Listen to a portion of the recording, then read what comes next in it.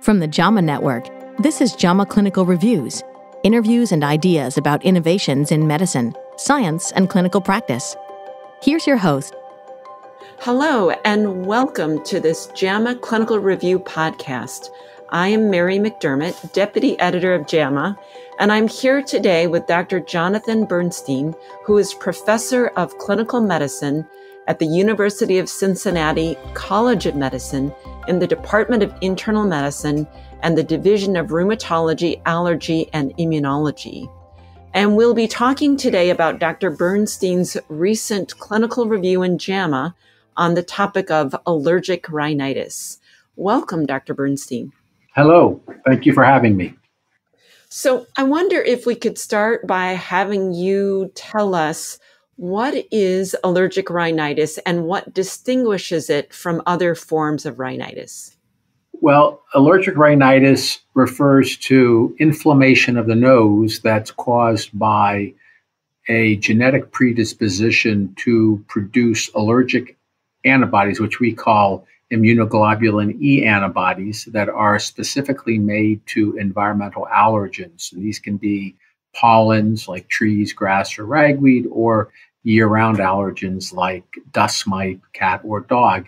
And individuals who are susceptible to developing these allergic antibodies, there's a genetic component to this, will develop uh, sensitization and then upon re exposure will develop clinical symptoms characterized by seasonal or year round symptoms, or in some cases, both seasonal and year round symptoms. So they'll have itching and sneezing and runny nose, when they're exposed for instance, uh, tree pollen during the spring.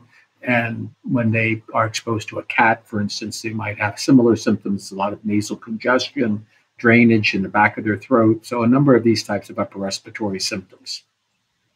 And how common is allergic rhinitis? And also, you mentioned genetic predisposition, but I wonder if you could speak about other predisposing factors, including exposures at birth and early childhood. Well, again, when one parent has allergies, there's an estimated 25% risk that a child will have allergies. And when both parents have allergies, that risk goes up to 50 to 60%. So there is a strong genetic predisposition. With respect to early childhood development, we are all thought to be born with the predisposition for what we call type 2 inflammation, which is the kind of inflammation that is associated with allergic rhinitis. And it's our exposures to things early in life, as early as coming through the birth canal, the microbiome, or exposures to animals in the home, which has been referred to as the hygiene hypothesis, that will determine whether we continue to progress to an allergic type phenotype or become more immunotolerant to these environmental factors. Of course, many of these are still hypotheses and have not been definitively proven, but there is data, for instance, if you have a lot of antibiotics very early in life that might change your microbiome and make it more likely you'll develop allergic diatheses and so forth. So there's many different things that can influence the newborn that could predispose to developing allergies. In terms of the prevalence, it's estimated about 15% of the general population has allergic rhinitis, which can be up to 500 million people worldwide. These numbers will vary depending on the population studied and how the data is reported, but that's a fair estimate of the prevalence of this condition.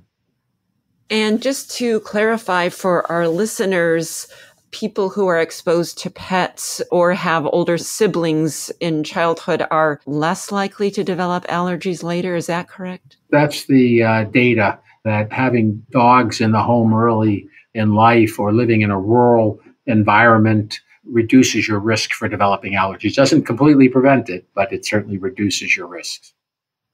And then you mentioned earlier that congestion, runny nose, those are symptoms of allergic rhinitis. But how should the internist distinguish between allergic rhinitis and other forms of rhinitis when they're seeing a patient in the office?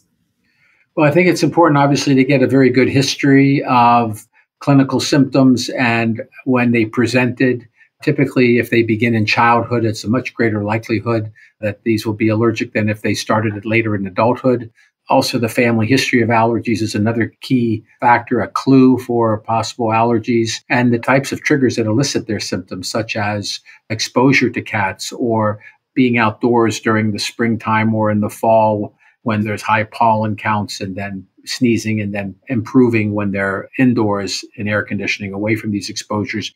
That can be very challenging sometimes historically because there are a lot of other confounding triggers, such as poor air quality, that can trigger symptoms, or weather or barometric pressure changes or even exposure to other chemicals and irritants that can trigger symptoms. And many people who have what we refer to as non allergic rhinitis or non allergic rhinopathy have symptoms that are triggered by these chemicals and irritants and environmental factors that are not allergic. They're not IgE mediated. And is a complaint of itching of the eyes or the nose, is that helpful in distinguishing between, say, vasomotor rhinitis and allergic rhinitis? Well, generally, people with allergies will sneeze more. They'll have sneezing attacks. So they'll itch more. But sneezing and itching is not pathognomonic for allergic rhinitis, uh, and that patients with non allergic rhinitis can also sneeze and itch. So these are not only triggers of histamine activating histamine receptors that can elicit these types of responses, but these symptoms can also be neurogenic. What do you mean by that?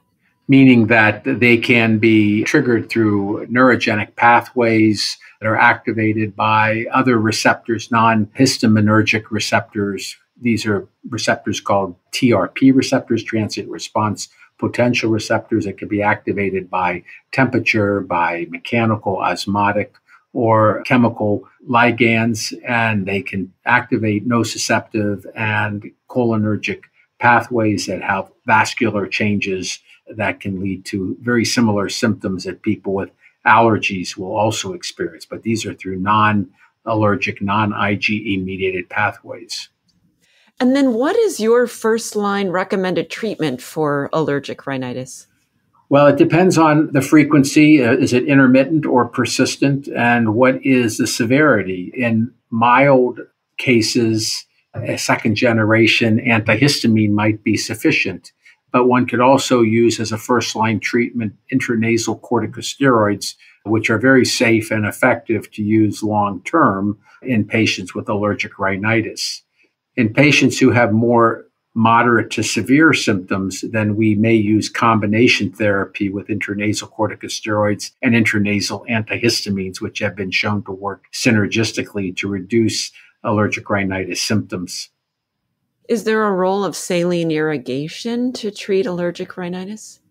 Well, saline irrigation is a very good adjunctive therapy. Some people really love using it. It gets rid of the mucus and the crusting and cleans out the nose. It's very important to emphasize that the nose is the center of a lot of structures that are emptying into it. All the sinuses empty into the nose. The ear canal empties into the posterior pharynx. The lacrimal duct empties underneath the inferior turbinate. So all of these structures, if there's a lot of inflammation and crusting, can get blocked through the uh, swelling. And so by using irrigation, it kind of cleans out the mucus and crusting and keeps these passages open so patients do not end up with issues with conjunctivitis as much or with issues of sinusitis, which is a comorbid condition that can occur with a poorly managed chronic rhinitis. And for the generalist who is treating someone that they think may have allergic rhinitis, should they be recommending all of their patients for allergy testing or are there some things that might be done to remove precipitants from the environment first? And if so, what would those be? Well, in my mind, when you're dealing with chronic problems that are ongoing issues, you want to know what you're treating rather than making empiric recommendations. I think, first of all, patients will adhere to your recommendations more effectively if they know exactly what's causing their problem. So I think that if someone has chronic symptoms and you're trying to differentiate, do they have allergic rhinitis? versus a non allergic rhinitis condition, or even an overlap, because 50% of patients with chronic rhinitis have what we refer to as mixed rhinitis. They have both allergic and non allergic triggers then I think it's important to characterize them and get some form of testing to assess their allergic status. And that way you can make targeted therapeutic recommendations for environmental control measures and recognize environmental control measures are not always inexpensive. You have to go out and buy certain materials. You have to maintain, you've got to vacuum a lot. You've got to uh, put encasements over the pillows and mattresses for dust mite and an animal allergy. You have to keep indoor humidity at between a certain range in order to reduce uh, dust mite propagation and so forth, and mold issues. So there's a lot of things that you're asking patients to do. So I think it's very important to characterize patients and give specific targeted recommendations based on what is relevant in their home and even in their work environment. And what about for people who are allergic to, say, grass or trees? What do you recommend to them? Well, I think that obviously we want people to enjoy the outdoors, a lot of activities, leisure activities. They may have children they have to be outside with and so forth. So, of course, when they're indoors, we recommend keeping windows closed and running the air conditioning, which prevents outdoor allergens from coming indoors. But in those situations, especially where medications may not be completely effective, we would recommend immunotherapy. And there are uh, different types of immunotherapy. There are subcutaneous immunotherapy, where people get a series of injections to the specific allergens that they're sensitized to. And there's also, at least for grass and ragweed allergens, there is something called sublingual immunotherapy, which is approved by the FDA for that treatment as well. So there are options based on patients' preferences and values. And what's the role of Montelukast for treating allergic rhinitis?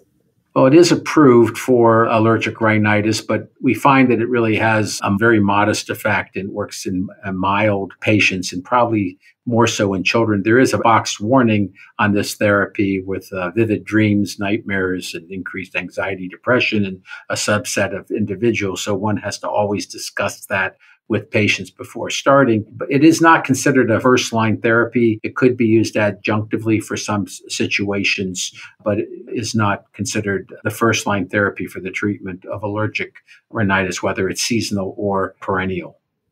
And for the generalist who may initiate the second generation antihistamines and the intranasal corticosteroids, at what point should they be considering referring their patients for immunotherapy, would you say? Well, I would say that when many patients don't want to take medications year round and the symptoms are chronic and persistent, or if the symptoms are not completely controlled, I think those are good indications for referring to someone who specializes in allergy to evaluate and consider whether they would be good candidates for immunotherapy. Some patients don't tolerate medications well. They have side effects. Uh, that's another possible indication. Or patients uh, just you know want to do something that's going to cure the problem rather than just manage the problem. So there's a number of reasons, especially if they have allergens in the home like cats and dogs that they don't want to get rid of. They want to keep these in their home. They're part of their family. This can sometimes be a big issue, and that would be a consideration if they're sensitized to these animals. Thank you. This has really been informative. Is there anything we didn't cover that you would like to add? Well, I just think it's important to realize that allergic rhinitis is not a trivial disease. It does have a significant amount of comorbid illness associated with it, and it does impact quality of life and has a significant burden of illness associated with it. And it's very important that patients are diagnosed properly because it's not one size fits all. There are really specific therapies for allergic rhinitis that may not be as effective in patients who have other forms of rhinitis subtypes. So this is extremely important. I think it can actually reduce healthcare costs and reduce economic burden if these patients are accurately evaluated and diagnosed properly. Thank you. I've been speaking today with Dr. Jonathan Bernstein from the University of Cincinnati College of Medicine about his JAMA review on allergic rhinitis. Thank you for listening. This is Mary McDermott, Deputy Editor of JAMA. For more of our podcasts, please visit us at jamanetworkaudio.com. You can subscribe and listen wherever you get your podcasts. This episode was produced by Shelley Steffens at the JAMA Network. Thanks for listening.